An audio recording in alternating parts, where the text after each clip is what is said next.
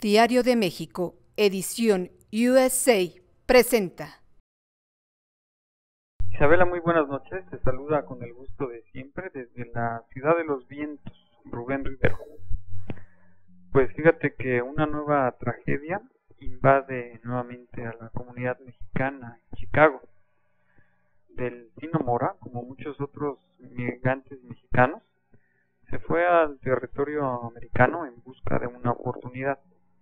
Llegó aquí, a la ciudad de los vientos, para trabajar como albañil. Desafortunadamente, sufrió un accidente que lo dejó discapacitado. No podía usar su brazo derecho, por lo que dejó su trabajo. Sin embargo, desde entonces salía todas las madrugadas a recoger latas en la calle para venderlas como desecho nunca claudicó en su deseo de apoyar económicamente a su vasta familia de 12 hijos. Desafortunadamente, el pasado 10 de julio, tres jóvenes en la calle lo golpearon salvajemente hasta provocarle la muerte. Este mexicano murió esa misma noche por los severos golpes que le cometieron en el condado de Cook, en la ciudad de los vientos. A las ocho de la mañana, Delfino recogía, como era su costumbre, latas en un callejón. Más tarde, un peatón identificó a los servicios de emergencia, notificó a los servicios de emergencia que había una persona tirada y con mucho pulso.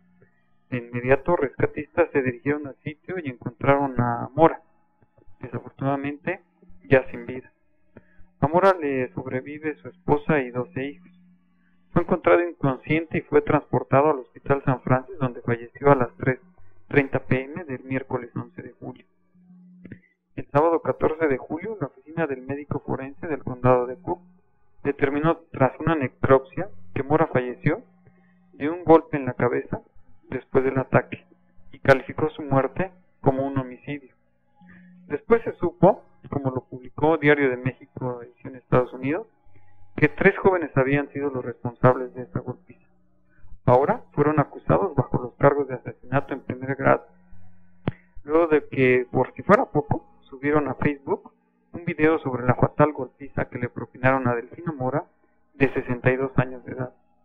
De acuerdo con las autoridades, Mora fue blanco de la actividad pandilleril conocida como hit and poach, es decir, pegar con puños cerrados mientras recogía las latas de aluminio de, basura en el vecindario de Rogers Park, en el noreste de Chicago.